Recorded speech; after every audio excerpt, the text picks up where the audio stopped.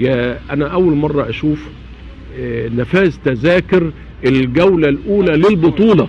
يعني إذا كنا بنقول وضع طبيعي إن مباراة العراق والعمان تنفذ تذاكرها فور طرحها فمن غير الطبيعي اللي إحنا نشوف ثلاث مباريات بتقام في الجولة الأولى وكل تذاكرها مباعة خلاف خلاف المباريات العراق. ده هذا نجاح في حد ذاته. يحسب لل- للجنة المنظمة ويحسب أيضا للجنة الإعلامية اللي متكاتفة من أجل الترويج لهذا الحدث.